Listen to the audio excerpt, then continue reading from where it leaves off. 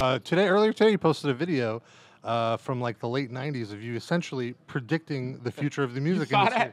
Oh, I did see it. I did my research. Yeah. And you you predicted MP3s. You predicted like iTunes essentially.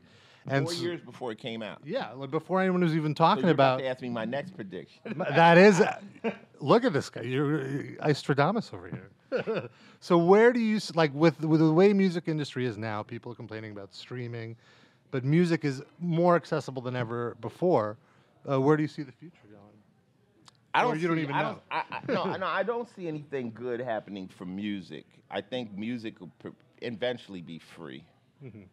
I just think it's you know once once once they turned it into a digital format, it could be pirated, it could be taken, it could be removed, and it's it's it's a weird shit. Oh, so they go, okay, we're gonna stream the records. You know what we make on a stream? Point zero zero seven cents. Like they came up with another number for a penny.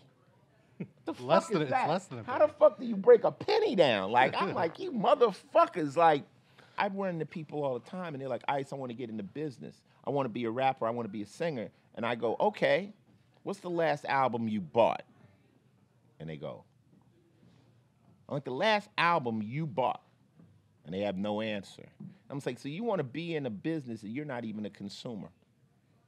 you probably do better selling, buying, making tennis shoes. I bet you can tell me the last sneakers you bought, or the mm-hmm. last shirt you bought, or the last food you ate.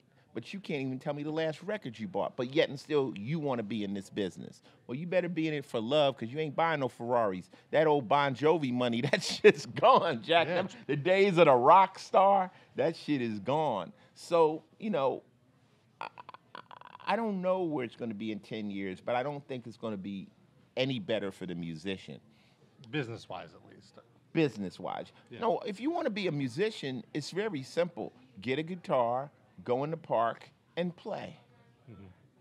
No one will stop you.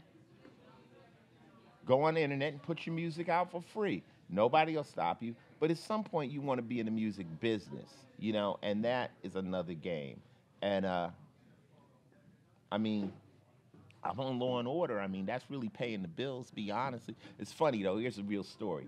Ernie had IRS problems, so he goes to the IRS, and so they're looking at his taxes, and they're looking. They pull my taxes up. I'm like, why the fuck they pull my taxes up? Because we knew we was in the group. So they put my taxes up next to Ernie, and the lady looked at him and goes, "This must be a hobby for Ice, huh?" the music business. This must be a hobby for him because this Yeah. ain't this, these numbers aren't matching up. And he was so broke, they let him go. They just said, "Fuck it, we don't want no money from you." Shit.